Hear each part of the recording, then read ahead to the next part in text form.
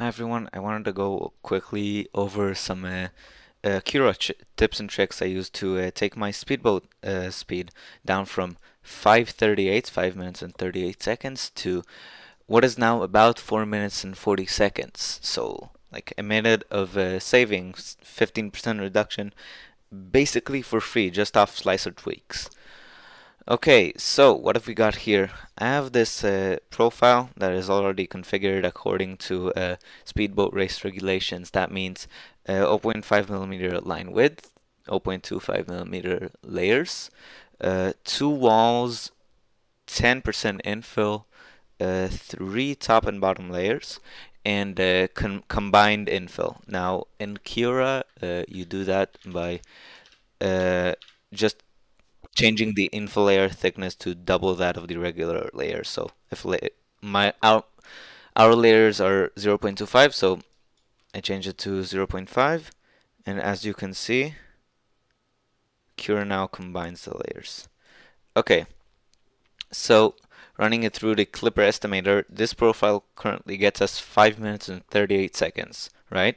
Which is, it's, it's pretty good, right? It's uh, using 40,000 acceleration, uh, 80 square corner velocity. Uh, yeah, it's pretty good. 5 minutes 38 is very good. But we can go faster than that even without uh, increasing the accelerations or stresses on the printer. So I wanted to go over uh, the main things that helped me. Um, I think I'm forgetting some stuff. There's There are definitely a few uh, settings that uh, slip through the cracks, but uh, these are the major ones. Alright, so the first th setting I want to go over is the experimental section. It's called slicing tolerance. Uh, the default is middle. Basically, it uh, changes the way the slicing behavior works. Uh, usually, Cura slices in a way such as, as you can see, the layers, since the extrusion itself isn't, it isn't perfectly square, you can choose, uh, if as you can see here, you can choose where the, the layer will go, right? So when you slice a height level, you can choose if the uh, extrusion will go over, uh, will go uh, middle, which means uh, partially over, partially under, inclusive, which means you over extrude, me that means you're building a, a, larger model generally, or exclusive, which means, as you can see, that the tips of the extrusion reach the outside. Uh, the exclusive slicing tolerance basically uh, slightly changes the way the slicing works and uh, nets you a slightly uh, speedier prints. So if we activate it now, we can save the file and we'll run it through the Klipper estimator. Yep, there we go. We just saved 8 se seconds basically for free. Okay, next setting I wanted to go over with, over with Okay, next setting I wanted to go over is uh, the combing. So by default, Cura activates your combing, not on outer surface, uh, not in skin, whatever. Uh, combing basically edits your uh, movement paths as you can see. It basically means that instead of uh, the nozzle, when you're traveling, instead of the nozzle cutting through the part just at, in the nearest line, it'll go out of its way to only travel in the infill. This means you won't see any scarring on the surface, but that means slower travels. So we're gonna turn that off for us, uh, and then we'll reslice and see how well that changes. That change. Uh, sorry if I misspeak a bit. English is not my first language. Uh, okay, so as we can see, we have 5 minutes 20 compared to 5 minutes uh, 30. We saved 10 seconds just on that. Uh, in a speed benchy, you won't really see a difference in quality because everything else is uh, already jacked up anyway. Okay, next change I want to go over is uh, the maximum resolution uh, and deviation. I misspelled maximum. Solution.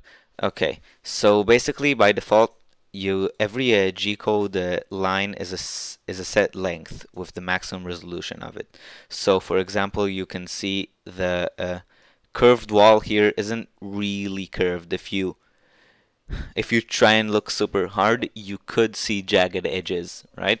So the resolution, basically, as you can see here, is the maximum resolution of the movement line. So This is a tiny resolution, means uh, maximum, the, every segment of G-code will be like 0.2 millimeters, and this is much bigger. This is like, I guess, 3 millimeters in their example. But anyway, we want to find something that doesn't look completely hideous, uh, but is still serviceable. What I ended up using is, if you can see here, I'll switch it to zero color, right? If you can see here, the edges and everything, and let's switch it to 0.8 for the resolution travel resolution and deviation 0.25 and you can see that it definitely smushes out some things. These uh, lines are worse. The tip of here the tip tip of the ship is a bit smushed. Uh, these lines get a bit of a pass and this one gets a bit jagged. But generally it still looks pretty good. And we uh, and if we'll uh, run it through the analyzer right now let's save it. Uh, we had 5 minutes 20 this is 5, mi 5 minutes 10 so by shortening these movements we saved a very large amount of time uh, too. That's another uh, thing we need to do. Uh, next up is uh, I I equalized my movement speeds. Now this isn't necessarily speed benching uh, thing, but the guide generally you want to go uh, faster for travels and infill and slower for outer and inner walls because in most parts you're gonna see the in, the outer wall and the inner wall is its backing. And you're not gonna see infill you're not gonna see travels so you can do them as fast as you like. The problem is when you push printers so uh, quickly is that these changes uh, introduce a lot of acceleration and deceleration. So while it might look uh, good that these are all at uh, 350, 320, uh, 450, what I ended up uh, having with these speeds is way more uh, motor skipping compared to what I ended up using, which is a set speed of 360 millimeters per second for everything. Now, I'm not sure if this exactly saved time. It just mostly increased the uh, success rate. Uh, so I managed to push it. Yeah, I managed to push it a bit faster than I could before, uh, while increasing the success rate. I could probably go to up to like 370, but it's really not worth it uh, pushing uh, the speeds right now from that direction. Next up, there's a thing in Cura called small features and uh, small features and uh, bridging settings. So basically, Cura will print bridges. So, okay, I'll change it to line type. Yeah, Cura will, will print bridges. So it's these first layers and uh, small features, which are tiny usually. I don't think, I'm not sure if anything on a Benchy even makes it to that size, but it also uh, changed the speed for small features basically this is to keep uh, small features which are tiny and require delicate movement from smushing and br bridging uh, uh, which requires slower speeds to be good.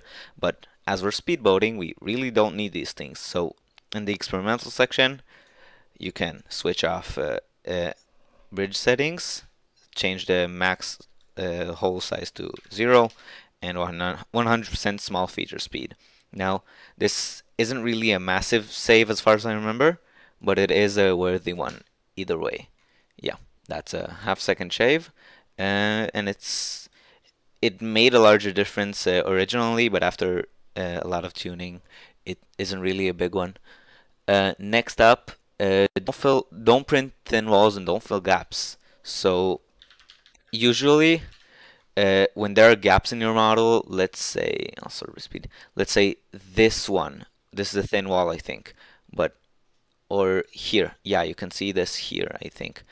Uh, there are gaps between the walls here, and these gaps Cura automatically fills with a different uh, speed than uh, other uh, parts, but it, it does fill them, and that takes time and doesn't really and isn't really necessary to the outside uh, of the boat. So we can switch off fill gaps between walls, which is in the wall section. I like searching for stuff, by the way. It's more uh, it, I like it doing it so yeah uh, and we can uh, do a and we can do thin walls Yeah, and we can tick off the print thin walls.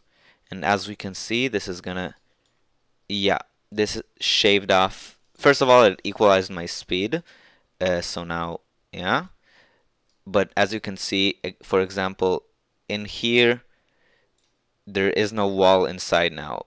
It's not really good for quality, but it is it is good for speed. Like these gaps here are much less filled. Yeah. Uh, so we turn that off. Let's see the speed savings or the speed increase. 459. That's an 8 second difference, uh, which is pretty large when we get down to these resolutions. Okay, next up, I don't know if anyone else does this. It's called skin removal width. So basically, as you can see in this area, shows a good example of it. These two, uh, maybe something that looks slightly less bad. All right. Uh, so basically, as you can see here, I'll show it here. Uh, the printer, or no, you can't see it. You can see it here. There's a thing called skin removal width, which means if there's a, yeah, if there is an area that is, if there's an area that's supposed to have a very small amount of skin on it, like let's say this bit right here, uh, and right now it's set to un under one millimeter, it will remove it and replace it with infill, right? So it's a bit hard to explain, so let's just see the change from one to two millimeters right? And boom you can see now instead of here there being uh, multiple top layers and multiple stuff it it just prints it just prints info. And that's much faster. Same here. And that allows for much greater speeds. So yeah let's save this and run it 451 which is another 8 second uh, saving. Alright, next up is concentric top and bottom layers. So this won't work for all profiles and all combinations of settings, but generally from my uh, for my setup, I switch my top slash bottom pattern from lines to concentric. What this basically does is instead of uh, printing, usually you see zigzaggy lines like you can see here on top and the bottom of prints, it changes the uh, two of the layers to be concentric. So that means this mess. Uh, it looks fine actually after you print it. I don't know if it's uh, the same for all setups, but in my case, it, it usually comes out much faster. So in this case, it gives you 11 seconds of saving. It's pretty uh, it's a pretty large difference. I think it has something to do with the uh, resolution and deviation because the concentric one uses a lot of small steps. But yeah. Okay, this is it for my profile as it is as it was used. But there are still some uh, changes I did afterwards that haven't been submitted into an official run yet, mostly because I'm still testing them. So right now we have 4 minutes and 40 seconds. Now, what I want to go is we have uh, 10 10 uh, percent infill density, but we can change the infill pattern. Right now, it's set to lines, which is which is it's lines. But what I found is that there's concentric infill. Now it's it's a bit scuffed, if you can see. What it basically does is add layers in the center. Yeah, but it's it's a bit it's not very smart though. That's the problem. So you can see it just started printing midair. That's a bit of a problem. In this case, it works meh. It doesn't work really well, which is why I didn't use it for my uh, official print because it was just stooping too low for me. But that does provide a lot of uh, time savings. So we'll run it again. We had 4 minutes 40. This alone took it to 422. It's an it's eight, 18 seconds of saving, which is a lot uh, when you uh, go look at speed benches. Yeah, I think that's basically it uh, for my uh, Cura profile. If there are any major things you guys know of that I missed, feel free to leave a comment. Tell me, I'll be looking at the comments uh, I think, if I remember, and I'll be reading them and responding. But yeah, that's generally it. Uh, see you guys later and happy printing.